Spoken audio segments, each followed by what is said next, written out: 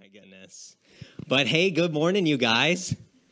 Morning, welcome back. And believe it or not, I'm here again. Oh my goodness.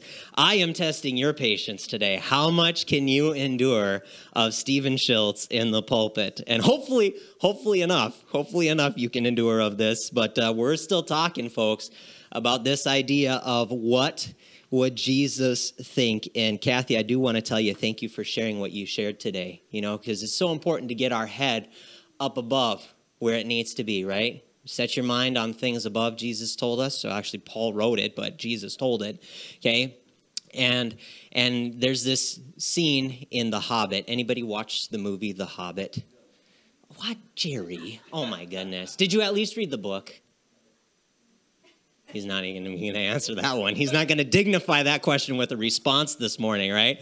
Anyway, in the book, there's this place called Mirkwood that the and the dwarves all get lost in called Mirkwood, okay? And Mirkwood is deep, dark, and disorienting because of it okay? And so there's all this confusion as these guys are walking around, and they get this bright idea, or Bilbo gets this bright idea that he's got to climb a tree and get up above the canopy to see what's really going on.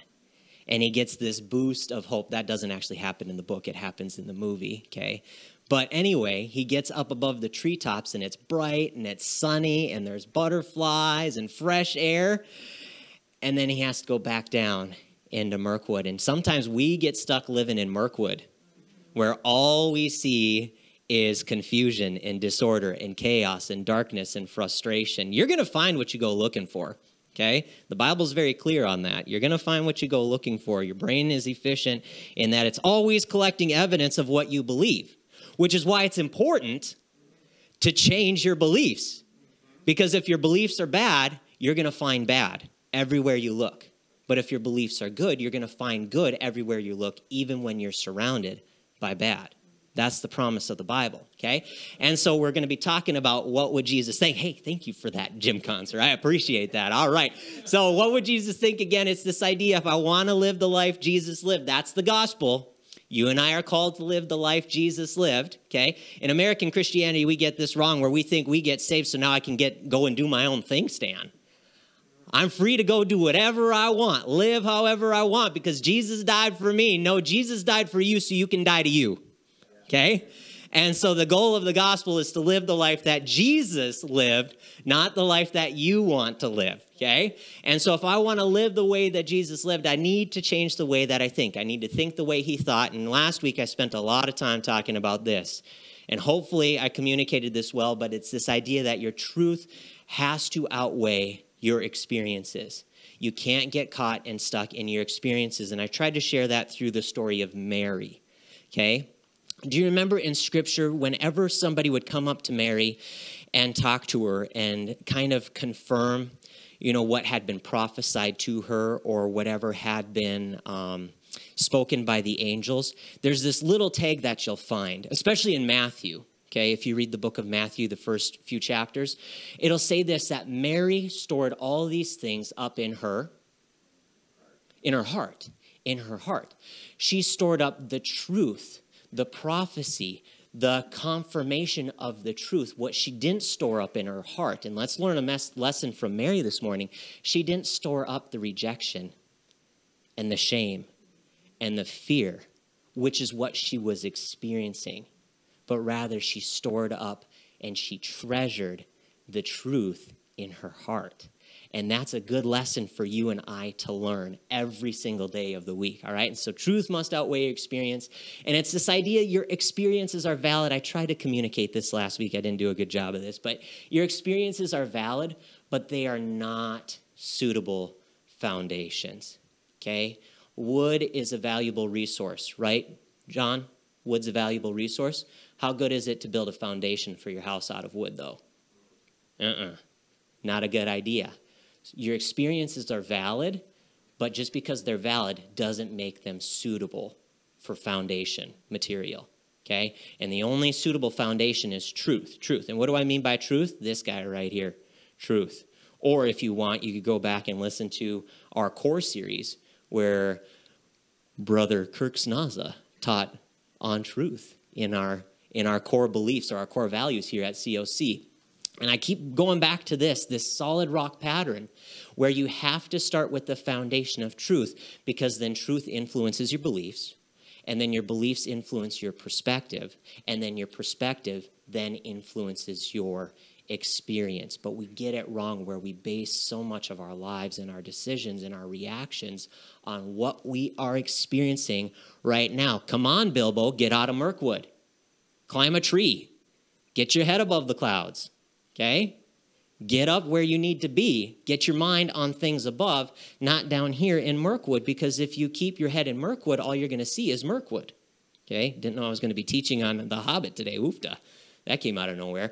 And it's this idea. I have a good question for you today. Would you rather, would you rather be bitten by a snake or eaten by a lobster? No, I'm kidding. Okay? Would you rather have God's truth influence your experiences, right? Or would you rather have your experiences influence truth? And when we live in a sinking sand pattern of thinking where I base my beliefs on experience, my experience then influence what I believe to be true. And that's not how we're supposed to live. That's not how we're called to live. Okay? Jesus didn't die so you could think bad thoughts. Okay?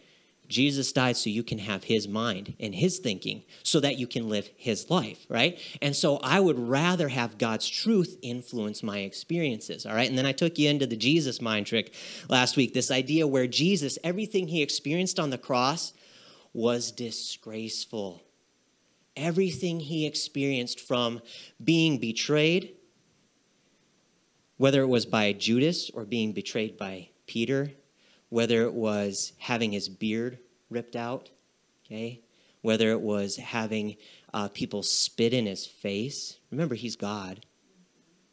He's God. And, and all that is happening to him. But the truth is, and I tried to take you to um, Isaiah to show you this, is that even though he was disgraced, everything he was experiencing was disgraceful.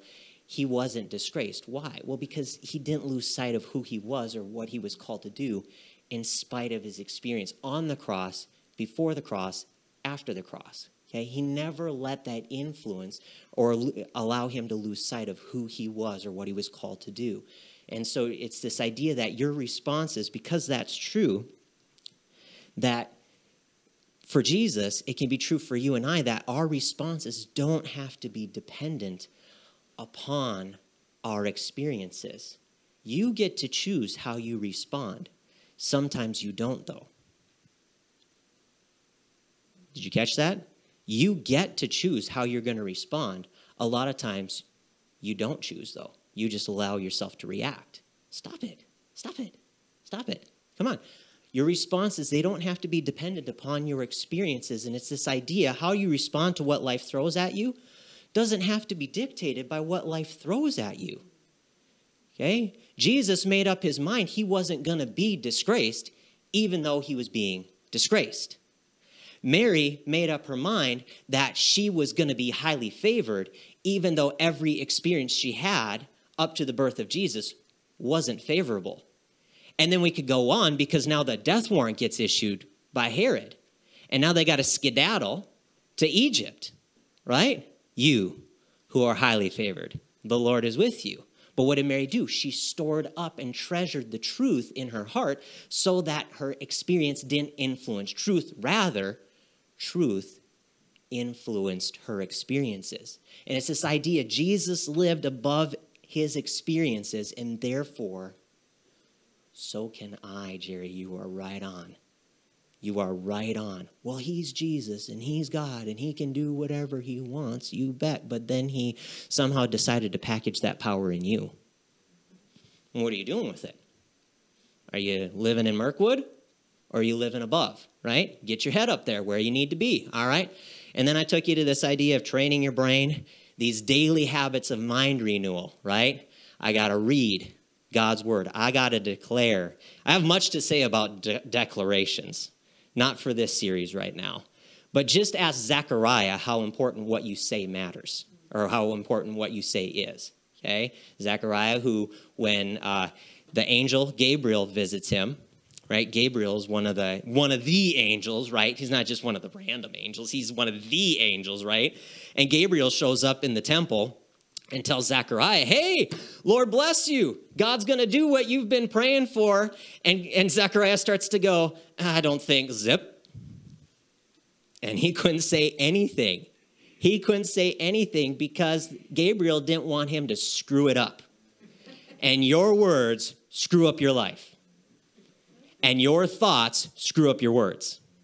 And so let's take it to the source, folks, okay? And so I got to get in the habit of reading, declaring, praying, listening, and obeying, reading God's word for truth, declaring his promises over my life and circumstances, praying and listening for wisdom and thoughts regarding my life and my situations and my circumstances, and then ultimately not stopping short, but obeying, obeying, obeying what God is asking me to do in the process, right? But Marnie had an interesting thought last week is, is that the goal is to eventually, yes, move beyond these, move beyond reading, declaring, pray, listening, and obeying, but never forsake them, right? I told you, uh, you can't have football practice. I told you like this last week. You can't call it football practice if you don't work on stance, start, blocking, and tackling, okay?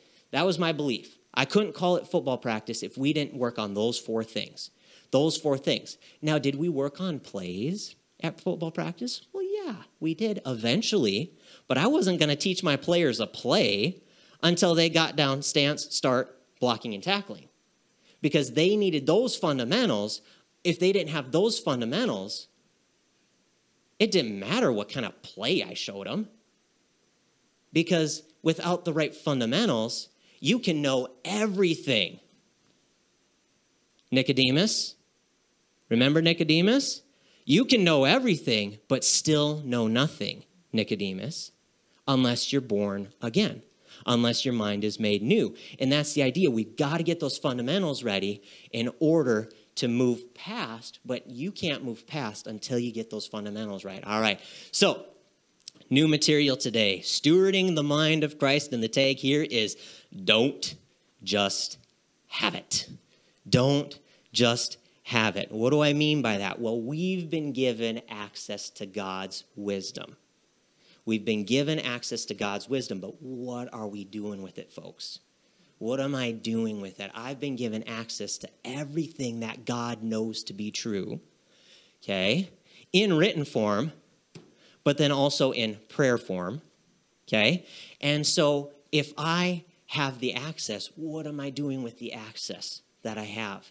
Okay, it's like giving somebody the key to the house. You know, do you remember on, was it The Price is Right? Oh my goodness. Where, where was it that you got like a key at the end and you got to see if it, if it started the car? And if it started the car, you got to keep the car? Oh my goodness. Nobody knows the answer to this question? Tune in next week while we figure this out, right? I think it was The Price is Right. Imagine this Bob Barker hands Kathy the key. Kathy Concert, come on down. You're the next contestant on The Price is Right. And he hands her the key, and she goes, Nah, I'm good. Puts it in her pocket and walks off the stage, right? How weird would that be? But here, you've been given access to the wisdom of the kingdom of God. Yeah, I'm good, right? And that's what we do with it. We do with it all the time, but we got to make sure we're stewarding it, stewarding it, putting it to use, growing it, training it. We've got to steward the mind of Christ because Paul writes to us this, 1 Corinthians 2:16, we have, but we have the mind of Christ. And I don't want you, and Paul doesn't want you just to have it. He wants you to utilize it because you already have it. It's a gift that you've been given, but what are you and what am I doing with that gift? That's the big question that I want to kind of wrestle with for a little bit. I'm going to show you a photo. Look at that little boy there. Just cute. Oh my goodness. Now Shaggy. Hi, Shaggy. No, I'm kidding. He's shaking his head, and rightly so, right? Look at that. Look at that. I don't know how old Elliot is in that photo. He's young, younger, okay? But allow me to direct your attention to this. That's Elliot's drawing. Okay? Now, Elliot shared during the Christmas program, and I don't know if you caught it or not, okay? But he said something interesting when Marnie was talking to Elliot about his gift. And he said, I have the gift of creativity, but drawing is something that I work at. Okay?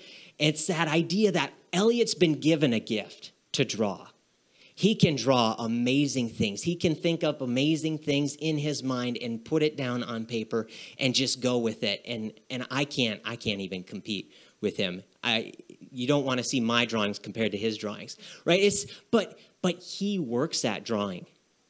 So much so that he's probably working on a drawing right now. And if you see him later today, he'll be working on another drawing. And if you talk to him later tonight, he'll be working on another drawing. And if you try and reach out to him tomorrow after school, he'll probably be working on another drawing. It's something that he works at, it's something that he doesn't just let sit dormant inside of him. It's something that he's been given a gift to, to be creative, but he works at it. And that's the idea that Paul's trying to hit at here. You have the mind of Christ, but it ain't that easy, folks. You know that to be true. You know that to be true. It ain't that easy to just think thoughts that Jesus would think. You got to work at it. You got to do something about it. You got to apply that gift that's been given. And so we've got to be using our gift of the mind of Christ by stewarding that gift because ultimately, stewarding your mind well is going to allow you to steward any season well, especially the bad ones. Right? And that's that's the power of the Holy Spirit is that you and I can produce good fruit in bad seasons. But it comes from our mindset and, and how we're thinking about things. And so, and so the goal is if I'm dealing with difficult seasons in life, which we all have difficult seasons, okay? But a lot of times we get in, stuck in this transition where we think that our season is the exception to God's rule oh, God wasn't thinking about my circumstance when he wrote that in the Bible, right? No, that's not true. Okay? Your experience, your situation, your season was included in that. And so if we steward our minds well, we can steward our seasons well. All right, we're going to take off today in stewarding the mind of Christ, and I'm going to introduce to you the Jesus stack the Jesus stack. Any IHOP fans here? I'm not talking, I apologize, I'm not talking about the International House of Prayer. I'm talking about the International House of Pancakes. My children love IHOP. They were very sad when the one in Watertown closed, okay? but they love IHOP, right? And so I'm going to introduce you to the Jesus stack. Well, what is IHOP and how does pancakes make it into here? Well, IHOP stands for this, all right? These are what I consider to be building blocks or key components for you and I to steward the mind of Christ in our lives, okay? It stands for identity, humility, obedience, and purpose. Okay, that's the IHOP identity, humility, obedience, and purpose. All right. And to get the IHOP or the Jesus stack, I'm going to take you to Philippians. So please, if you got your Bible, I'd love for you to turn to Philippians today. And we're going to be reading in Philippians 2.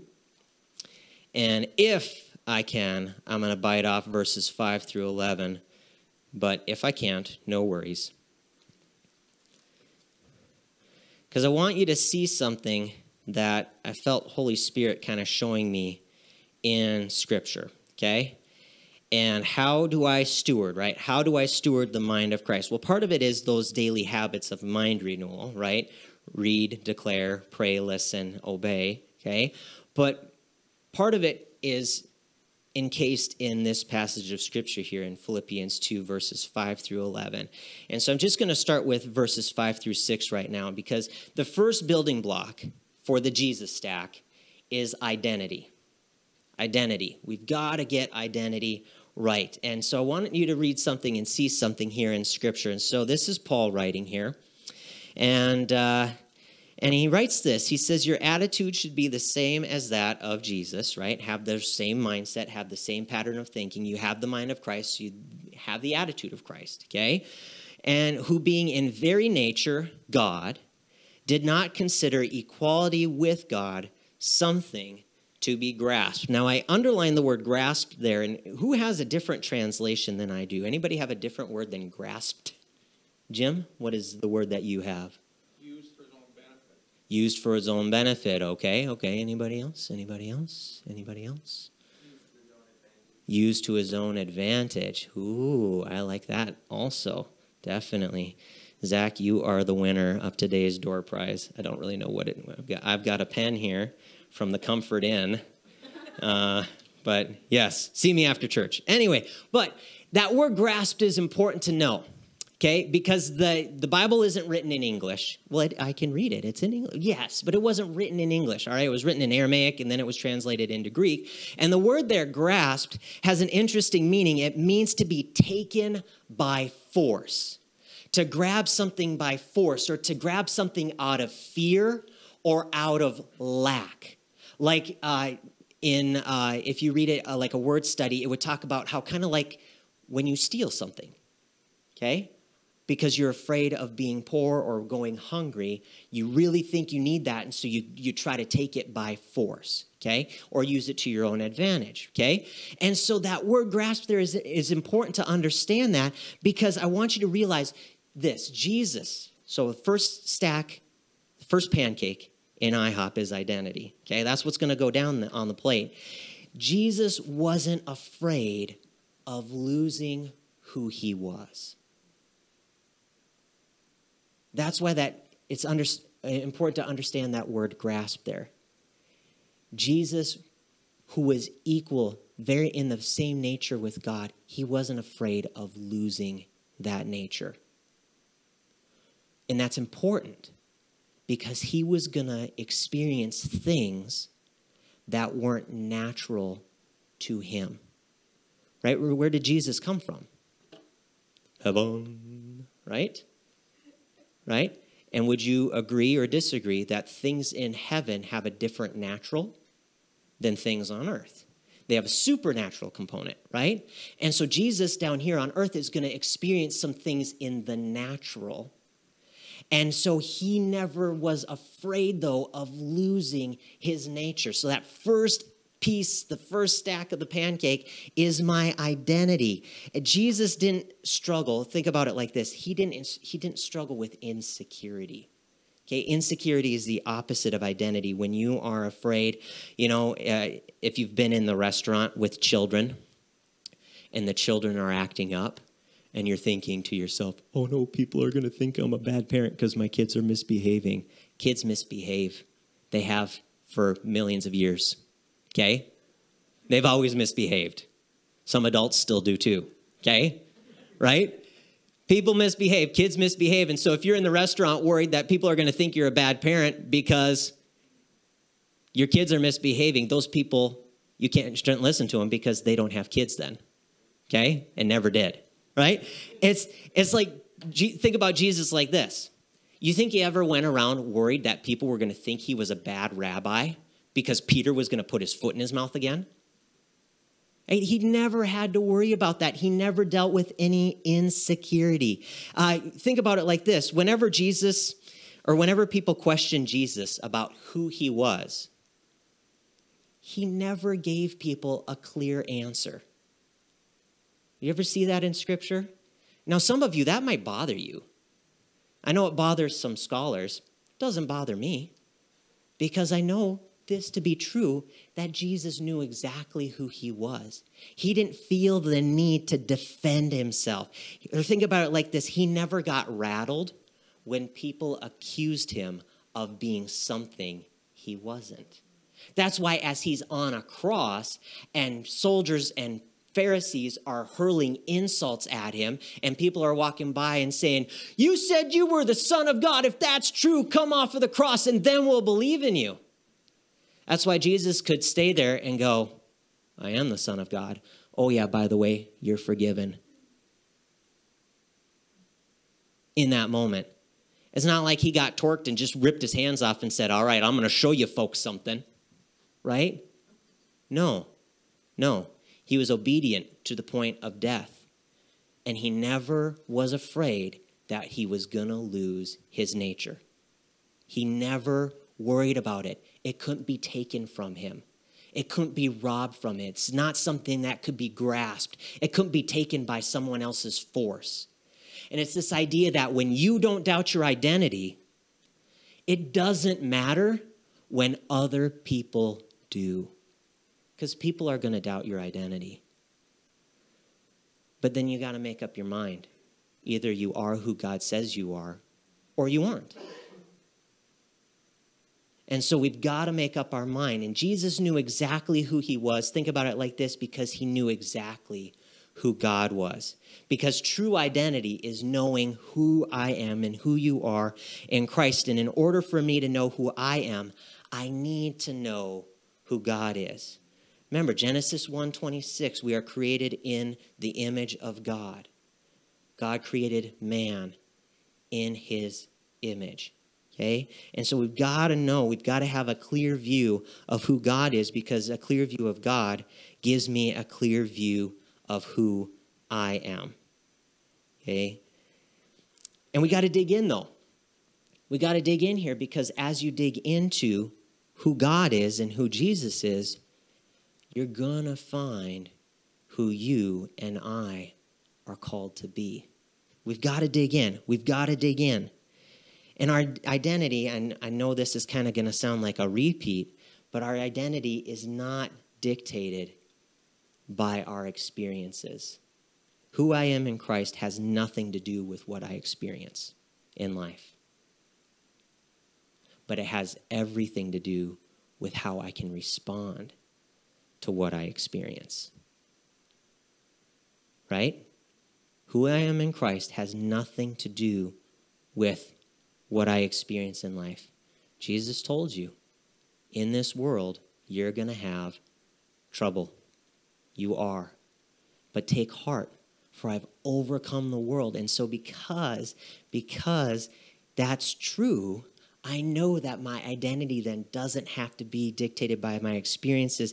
Think about it like this you're not the sum of your experiences. A lot of times that's what we think in our life, that we are the sum total of our experiences.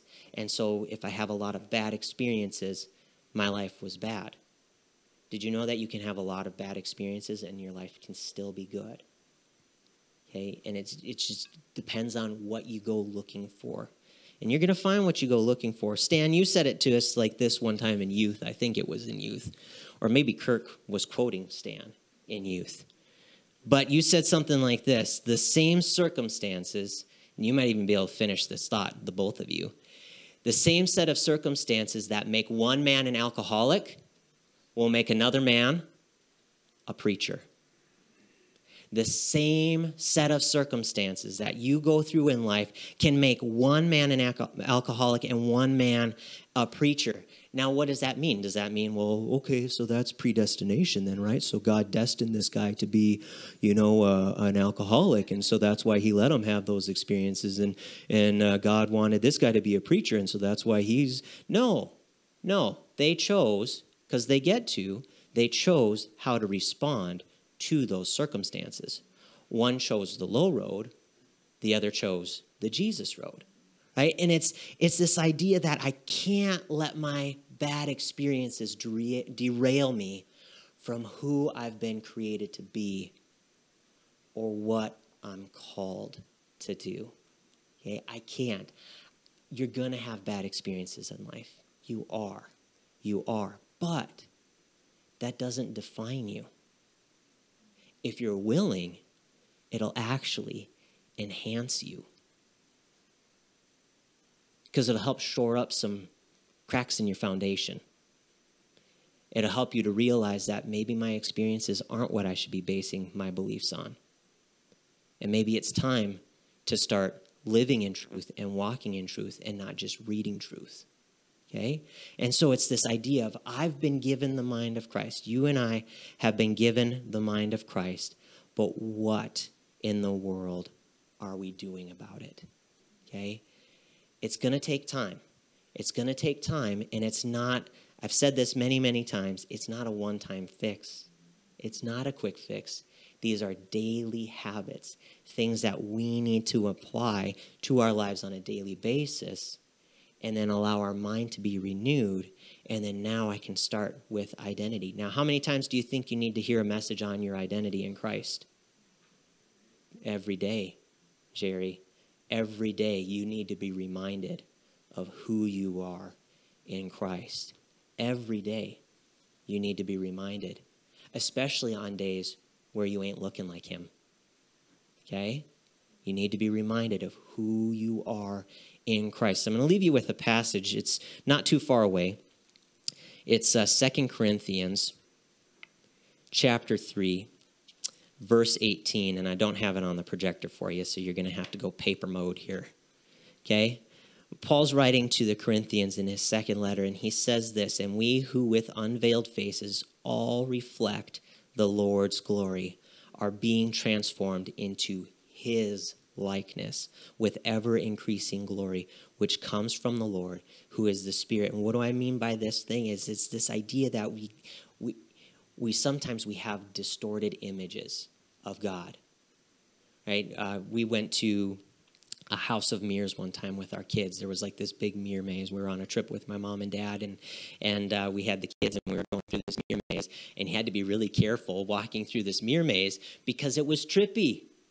It was messing with your brain of where you could walk and where you couldn't walk, and you didn't want to thunk just face plant right into a mirror, right? Is this all this distortion around you, right? Like Mirkwood. Okay? But what is going to get rid of that distortion is when I get a clear view, a clear view of who God is, an uninterrupted view of God, an uninterrupted, un- uninterrupted view of God. Uh, think about it like this. Have you, uh, do you remember in Scripture, it's in Jeremiah, uh, where uh, you've heard maybe the passage, uh, if you seek me, you'll find me. Do you know that passage? It's Jeremiah 29 13. Anyway, that's not the whole verse. Anybody remember what the whole verse is? You will seek, if you seek me, you will find me when you seek me with all your heart or your whole heart.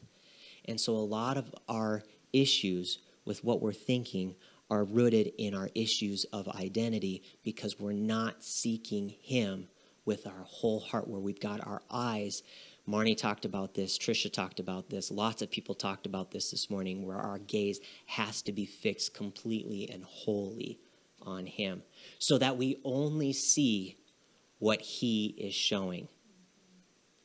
I've been praying a prayer all week this week. It's kind of rooted in John 5 19. It's kind of rooted in John 12 49. But it's this idea that Jesus never said anything that God wasn't saying. And Jesus never did anything that God was doing. And Jesus never thought something that God wasn't thinking. And Jesus never heard something that God wasn't speaking. And I want that in my life. I want that singleness of focus where, Heavenly Father, help me to only see what you show. Heavenly Father, let me only hear what you say. Lord, let me only declare what you are declaring over my life. And as we start to pursue singleness, as we start to get our identity right, we start to live out the life that Jesus lived. And I'll have to leave you off there, you guys. Amen. Let's pray.